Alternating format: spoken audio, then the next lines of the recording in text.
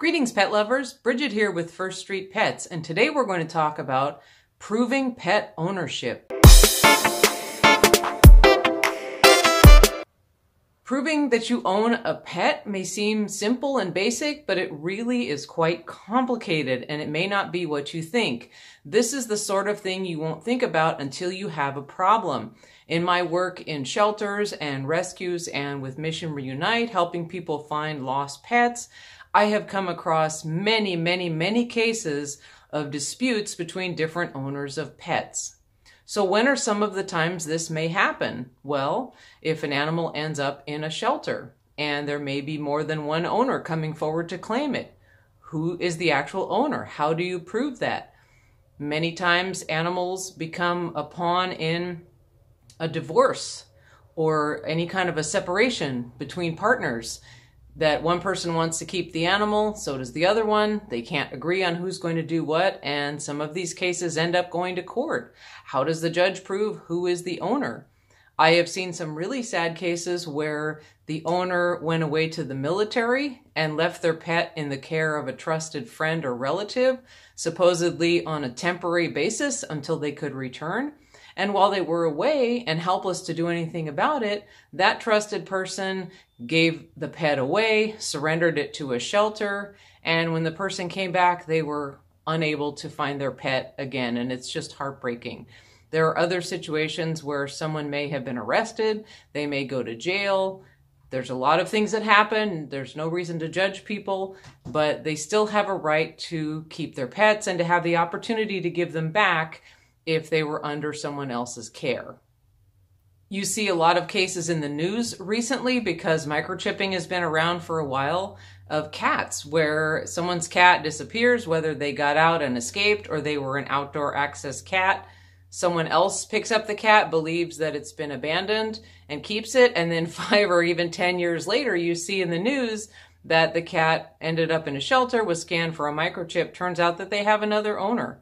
So there's a lot of different situations where this may happen and where there may be more than one person who wants that pet. How do you prove ownership? So the first question is, who makes that determination? Who gets to decide who is the owner of the pet? Well, that depends on the situation. If the dog or cat or other kind of animal is in an animal shelter, that's usually decided by the shelter staff who are doing the reclaims for the owners. If it becomes difficult, it may be handed over to some sort of management in the shelter. But generally, these people aren't authority figures. They're simply the shelter staff making a decision that they feel is the right one for whatever reason or is best for that pet. In most cases of pet ownership disputes, the authorities, whoever they may be, police, sheriff, animal control, will usually say it's a civil matter and they won't get involved. And that is fair because it kind of is. But in some cases, they do get involved. And I have seen some situations where the police or animal control officer did get involved in some disputes where it was clear, at least to them, who the rightful owner was. Sometimes this matter may be decided in a court, and I will link some articles about actual court cases in the description and in my written article that will follow this video. There is one case that really jumps out at me that was in the news, a dog named Gigi in San Diego whose owners divorced. They could not agree who was going to take the dog. They ended up spending over $150,000 in legal fees to decide who would get the dog. I believe that the wife ended up getting possession of the dog after spending $150,000 and over two years in court. So there's a lot of different ways that that decision can be made and it may cost you a lot of money. So let's talk about the kinds of proof and how effective they are. Number one, microchipping. Many people believe that the microchip is proof of ownership, and it does go a long way in showing ownership, or at least who owned the pet at the time the microchip was registered. Now, I will reference below my other videos on microchipping because it's a very complicated system that you need to understand how to get your pet chipped and properly registered. So be sure to check those out. The microchip does not definitively or legally prove ownership. This can be an issue when an animal comes into a shelter. Sometimes the chip is registered to two different people, maybe a current owner and a former owner from a couple of years ago. The chip may be registered in more than one registry, so there could be two people claiming ownership. Now, often in shelters, they're happy to have anybody come in to claim the pet, whether it's the current or former owner, and of course, they'll do their best to determine who is the rightful owner. But once in a while, you do get two people coming in trying to claim the same animal, and that's when things get sticky. One of the reasons that I see that the microchip is not a definitive legal proof of ownership is that, as I describe in my other videos, anyone with the chip number can register it. You don't have to show any kind of proof that the pet belongs to you. If you have the number, you can register it. So there is a potential for someone to find or take an animal get the animal scanned and get the number and go ahead and register the chip and say it's theirs without any sort of legal process of taking over ownership of that animal. So that said, I do recommend every dog and cat be chipped and registered. It does help, but it's not 100% proof. Number two, registration papers. So many people believe that registration, such as the AKC, the American Kennel Club, or any other number of registration organizations, can prove ownership. Having that paperwork showing that this particular dog or other animal belongs to you proves ownership. Now, it may, again, in some cases, help your case. However, these organizations are very quick to say that they are registration organizations, not policing organizations. In fact, the AKC has what they call a self help guide to dog ownership disputes. And it states right on their website AKC registration is not legal title to a dog, and the AKC itself cannot settle ownership disagreements. So they're not going to get involved. It's up to you. Now, that said, if you have registration paperwork for your pet, if you have a purchase agreement from a breeder or other party, definitely keep all that paperwork in a file. All of this stuff helps, although again, it's not 100% proof. Number three, shelter or rescue adoption paperwork. Now, I'm getting ready for someone to throw something at me through that screen, but there is no such thing as adopting a pet. Oh, hold on. Legally, animals are property. I know we don't feel that way. They're members of the family and we adopt them into our homes. However, legally, they are considered property and an adoption is the sale of property. You can call it adoption all you want, but it's not the same as adopting a child, a human being. So having this paperwork can prove that you did adopt, purchase, whatever you want to call it, the animal on that date, especially if it's fairly recently. This is a good indicator that this is your animal in your care and you have rights to ownership. However, again, it's not 100%. None of these things are going to be 100%. However, I do recommend that you hang on to any paperwork you have because it may help you should there be a dispute. Some shelters have waiting periods to determine if there is a previous owner who wants to claim the pet, and I'm not talking about the legal hold period. For example, one of the shelters I used to work with had a 30 day period where the adopter was advised that the owner could potentially still come forward and claim the pet. Many shelters don't want to deal with this because they don't want to get involved in sticky situations like that. They just say after the hold period, you've lost your rights to the animal. But I felt that that was a good policy because what if I were out of town and my dog or cat got lost, taken into a shelter, adopted out within a few days? I would lose all rights to get my animal back. So I think that's a good policy. Number five, tags or license or collar with your phone number on it. All of these things are highly recommended. I'm not a fan of collars on cats. However, I believe that every dog should be wearing a collar unless they're built in such a way that it's going to fall off or there's some medical reason for them to not wear it. My dogs have collars with the phone number actually embroidered on it. I got them on Amazon. They're very inexpensive. You can get any number of tags. The thing is, of course, collars can fall off or be taken off. Now, a license tag is usually required by your jurisdiction. It shows proof that your dog has been vaccinated from rabies, and the fees help support the shelter and the animal control department.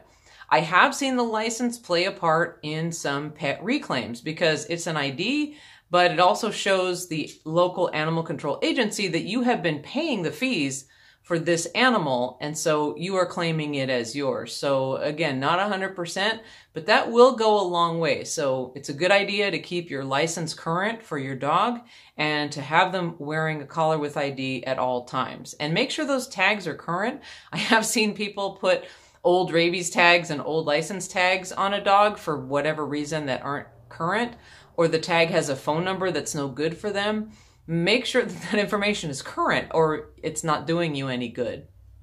Number six, possession or care and custody. So the saying goes that possession is nine tenths of the law, and this can come into play in a pet ownership dispute. Generally, if someone has been caring for the animal for a period of time, weeks, months, years, they are considered the owner, even if there was never any formal process of taking ownership, such as purchase or adoption from a shelter or rescue. The crux of this is how you obtained the animal. If you found an animal as a stray, made a good effort to find an owner and didn't, and then kept the animal, you are pretty much covered. However, if you found an animal and can't produce any proof that you looked for the owner, that owner comes forward later to get their pet back, they may have a case against you. Of course, if it really is their pet, you should be giving it back anyway. But if you did your due diligence, if you called the shelter, if you made a lost report, if you put up signs, posted on Nextdoor, etc., etc., then you have made a reasonable effort to find that owner. I briefly mentioned the hold periods already for shelters. The laws for shelters in most states are very antiquated for example, in California, the minimum hold period is 72 hours. In other states, it can be up to maybe five or six days, something like that. Some shelters may voluntarily hold longer, but generally they have so many animals incoming that they have to roll them in and roll them out. They can't be holding animals for weeks in an attempt to find an owner. However, those laws typically don't apply to private individuals rather than a shelter that takes in strays for the city or the county. Now, the laws around this are super vague, and I'll give you an example. Here's the civil code in California for a private individual finding a pet. So this is from the California Civil Code. It says enacted in 1967 and amended in 1998 concerning rescued domestic animals owner to be informed. That's what it says. Any person who finds a thing lost is not bound to take charge of it unless the person is otherwise required to do so by contract or law, etc., etc. Any person who finds and takes possession of any personal property or saves any domestic animal from harm shall within a reasonable time inform the owner if known. That's it, within a reasonable time. I'm paraphrasing, and I'll include this uh, information in the written article in its full length. But that's it, as you must inform the owner, if known, within a reasonable time. Well, what is reasonable? Three days? A month? Three months? So super vague. I'd be curious to know what the laws are in your state around that and how they differ from the laws for shelters. Number six, vet records.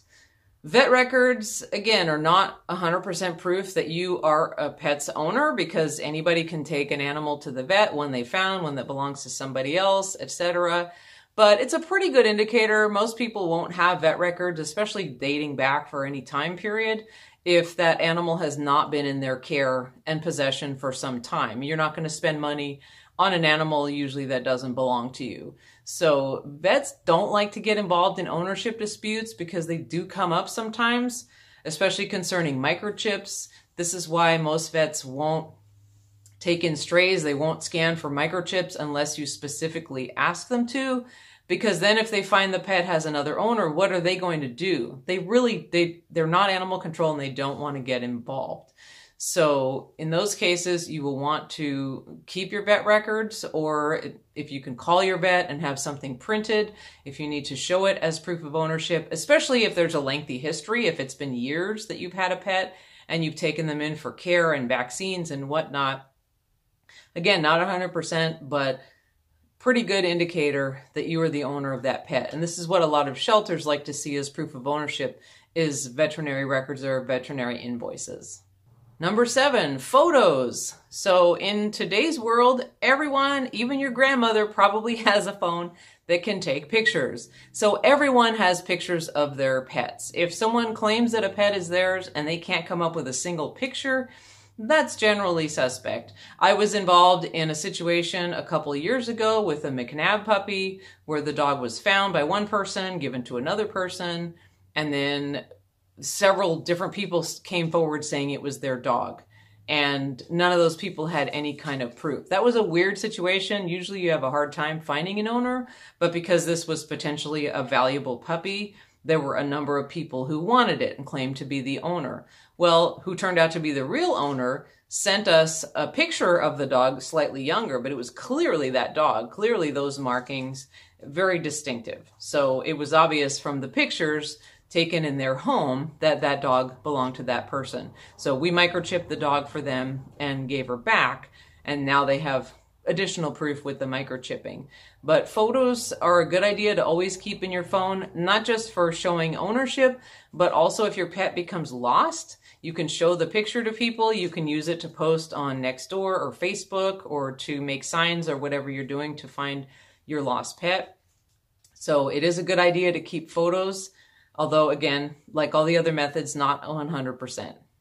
So to wrap it up, it goes without saying that prevention is key to keeping your pet safe or to preventing most other problems in life.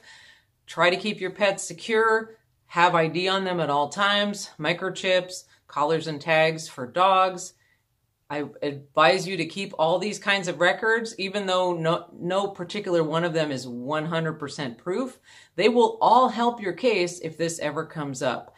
And another thing to be sure of, if it's not the case of, say, a lost pet or a pet that ends up in a shelter, if you're talking about a split with a spouse or leaving a pet to be cared for with a family member, it's a good idea to have really clear and preferably written arrangements. I know that may seem weird if you're asking your aunt to take care of your cat or dog, but you know, it doesn't hurt. Even if you have a series of text messages or emails, that could be a better proof that an arrangement was made and that you didn't intend to surrender the pet that the arrangement was temporary. But again, just good communication. I think a lot of these situations come up where someone agrees to take the pet and then after a while they become resentful. It becomes too much for them. It drags on for weeks and months and maybe even years. So there needs to be good communication between you and the person caring for your pet.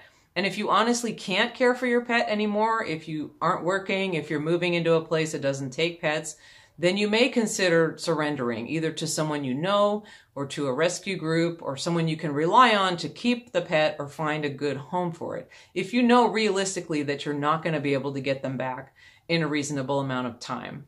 Thank you so much for watching. I hope this has been helpful. I would really like to hear from you if any of you have been involved in any kind of a dispute with a pet, whether with a family member, a partner or ex-partner or a shelter. Please, I'd love to hear about it in the comments. Thank you.